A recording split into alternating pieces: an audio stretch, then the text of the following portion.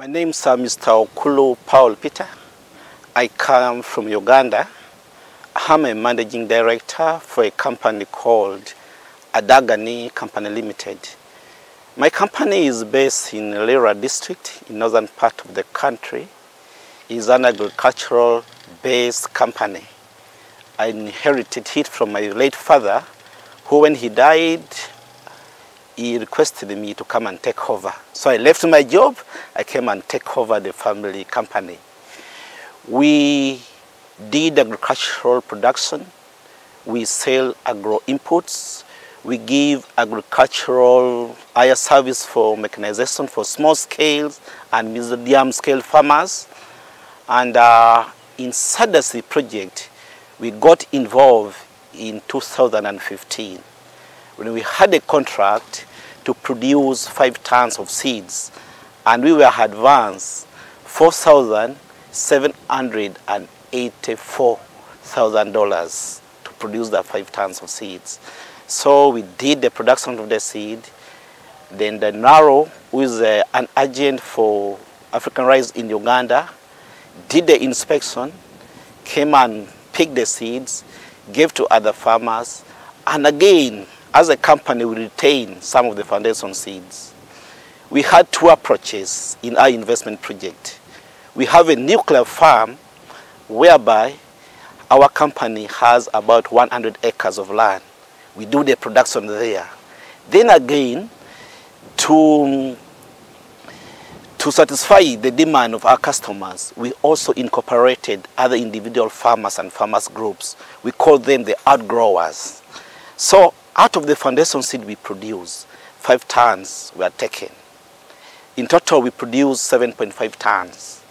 So 2.5 tons we retain and give others to our outgrowers farmers. So we venture into seed production under this project. Then eventually, we were so much successful that year. That was the year 2016 first season.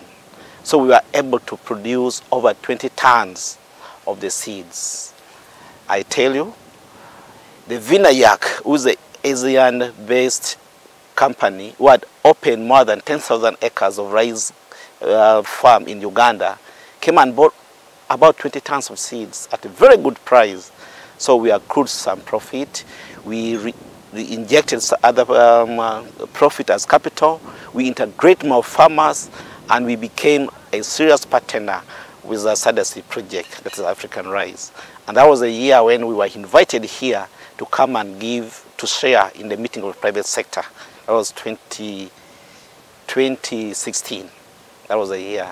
So after that, our farmers got trained by NARO through the support of SARD-SC, and also we keep building up capacity.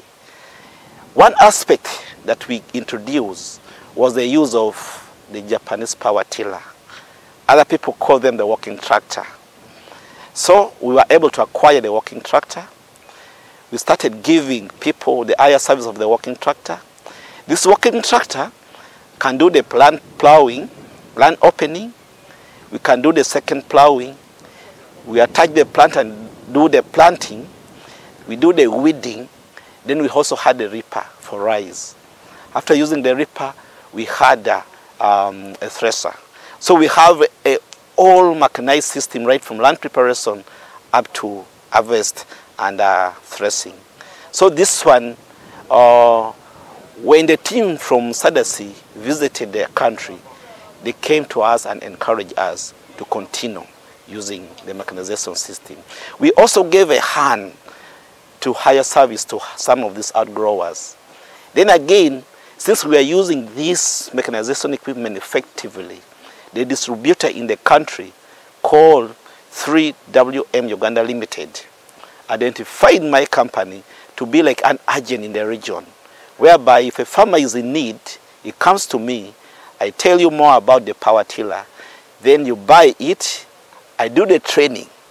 My capacity and my operators were built by SARD-SC, the technician from NARO, who train us on how to operate the power tillers. So we train you then we give the power tiller to you. We even give the services of the power tiller. Now, one important thing that followed the power tiller aspect was the value addition. We introduced a use of a small destoner. And this is when one of the companies, sister company, came in to add value. The company is called Patmos. It's also based in Lira. Uh, the company used to be a very good producer of rice. They were producing tonnage and tonnage of rice. So now they started the value addition. They would get the rice from the field, go to the mill. After milling, they do the destoning. After destoning, they pack, brand, and sell to the market. I tell you now that in the first year of the, that investment, they already have an impact on them.